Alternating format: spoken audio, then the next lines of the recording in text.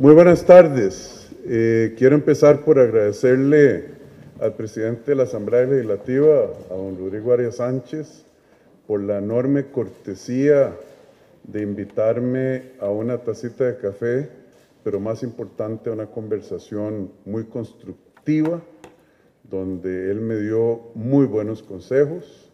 Es un gran honor para mí venir a la Asamblea Legislativa y pues fundamentalmente don Rodrigo y yo conversamos eh, de muchas cosas, incluyendo la situación económica global, la política latinoamericana, conversamos de eurobonos, de reforma del Estado, de proyectos de inversión, eh, incluso de la relación entre el Poder Ejecutivo y el Poder Legislativo.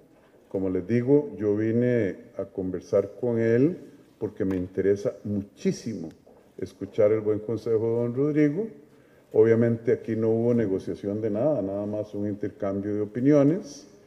Eh, yo sí me llevo varios puntos a los que les quiero dar seguimiento eh, de los consejos que me dio don Rodrigo, eh, incluyendo algunos anuncios que voy a hacer el martes de la semana entrante sobre la ruta fiscal del país, eh, el papel de los eurobonos eh, en esa ruta, que es fundamentalmente pagar las deudas que ya tiene el país, porque no es el gobierno de la República, es Costa Rica el que debe esas torres de vencimientos, y tal vez explicar de una manera más clara que esos eurobonos no es para financiar más gasto fiscal, ni para crear más déficits, ni para, simplemente es para amortizar las deudas y las obligaciones que tenemos. Y entonces el martes don Rodrigo me dijo que él iba a venir a la casa presidencial, que va a ser un honor recibirlo, y vamos a eh, reflejar en los mensajes de los 100 días algunos de los buenos consejos que me dio don Rodrigo. Entonces, volvemos eh, al principio. Muchísimas gracias, don Rodrigo. Ha sido un honor y un placer conversar con usted aquí en la Asamblea Legislativa y espero que no sea la última y la próxima nos toca el cafecito en la Casa Presidencial. Muchísimas gracias.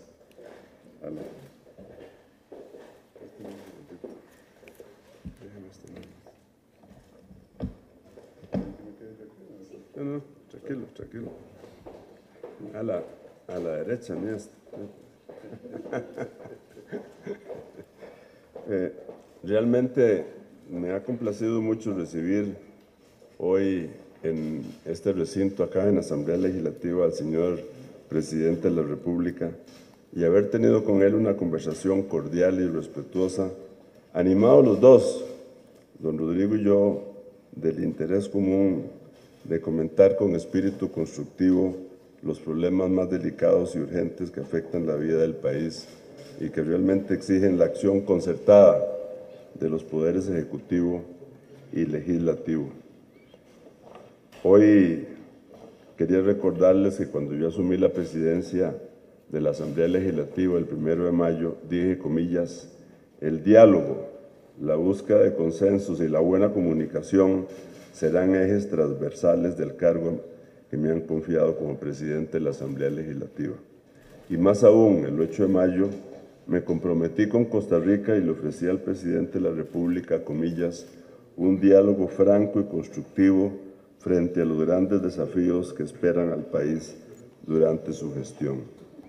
Me parece que la reunión de hoy me ha permitido eh, reforzar esos comentarios que hice el primero de mayo y el 8 de mayo me parece que el diálogo es fundamental en la democracia costarricense y hoy hemos podido comentar en una forma sincera diferentes temas de finanzas públicas, efectos de la crisis mundial, temas de empleo, temas de reactivación económica, temas sociales, cómo protegernos ante las amenazas que vienen para el país, etc.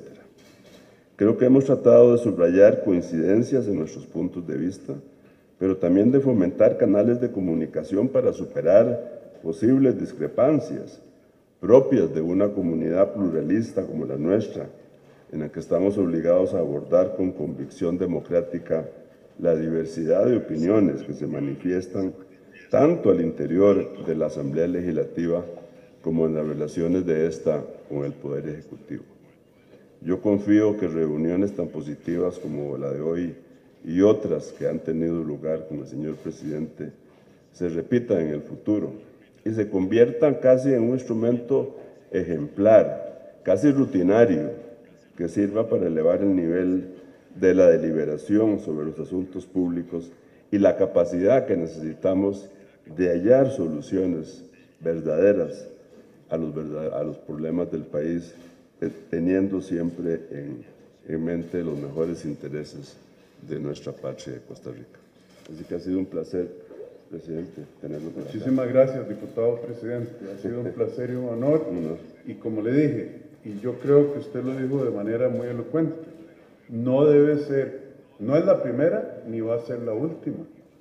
Deberíamos reunirnos a menudo y para mí siempre es un placer y un honor. Muchas gracias. Con permiso. Encantado. Muchísimas gracias. Hasta luego. Muchas gracias.